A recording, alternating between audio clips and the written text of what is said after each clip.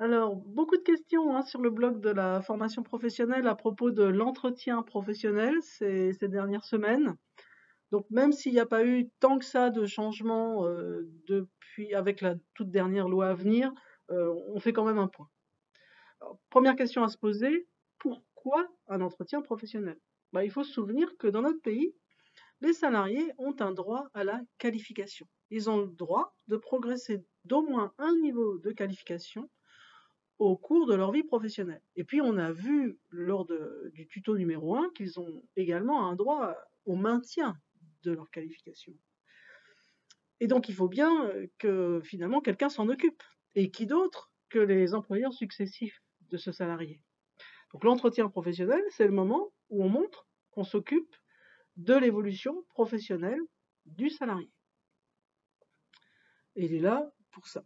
Ce n'est pas un hasard si les mentions euh, du Code du travail sur l'entretien professionnel se situent dans le livre du Code qui est dédié à la formation professionnelle. C'est pour qui l'entretien professionnel? Ben, C'est pour tous les salariés, quelle que soit la taille de l'entreprise qui les emploie, et l'entretien doit être mentionné euh, lors de l'embauche du salarié. Quel contenu? Alors là, on a des petits changements avec la réforme. Comme auparavant, le contenu de l'entretien est avant tout centré sur les perspectives d'évolution professionnelle du salarié. À noter que ce que l'on entend par perspective d'évolution professionnelle du salarié dans l'entreprise peut faire l'objet d'une négociation depuis la loi à venir. Depuis cette loi, également, sont venues se rajouter des informations obligatoires à donner pendant l'entretien sur la validation des acquis d'expérience, le compte personnel de formation et les éventuels abondements que l'employeur peut y apporter, et le conseil en évolution professionnelle. Voilà pour le contenu. On a bien vu, lors du tuto numéro 1, que l'entretien de bilan, une fois tous les six ans, a en plus un contenu spécifique où l'on examine les trois points qui sont les indices finalement de l'évolution professionnelle à défaut d'avoir négocié autre chose dans l'entreprise. Je n'y reviens pas, voir le, tuto numéro 1. Donc pour répondre à la question de Sabine, effectivement, ce n'est pas un autre entretien, hein, l'entretien de bilan, c'est bien le même entretien, mais avec un contenu supplémentaire. C'est quand? Alors, c'est tous les deux ans, sauf, là encore, euh, modification introduite par la loi à venir, euh, sauf négociation qui donnerait une périodicité différente. Sinon, c'est tous les deux ans. Donc, tous les deux ans, depuis mars 2014, la date de naissance de l'entretien, ou euh, depuis la date anniversaire de l'entrée du salarié dans l'entreprise, s'il est arrivé après. Mais c'est également au retour d'absence.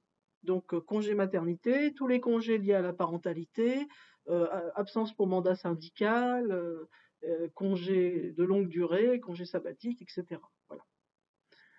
Donc on a plusieurs opportunités finalement d'organiser cet entretien. Et à chaque fois, on va regarder une traçabilité, surtout bien sûr si on est dans une entreprise soumise à l'abondement correctif, donc de plus de 50 salariés.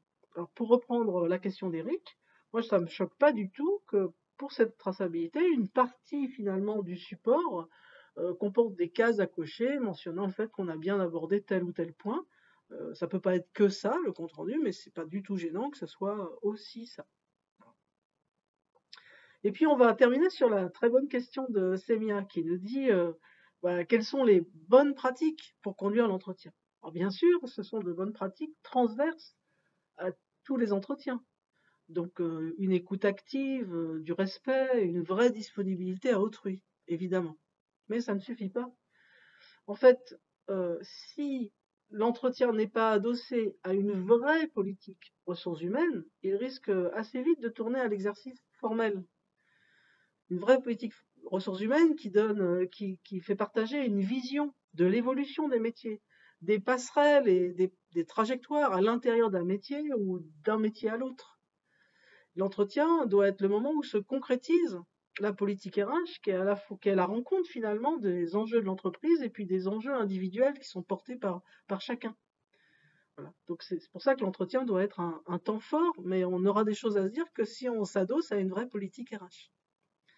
Voilà, pour en savoir plus et venir échanger pratiques et, bonnes pratiques, eh bien, n'hésitez pas à nous rejoindre sur nos formations conduire les entretiens professionnels ou bien actualité du droit de la formation professionnelle spéciale réforme. À bientôt.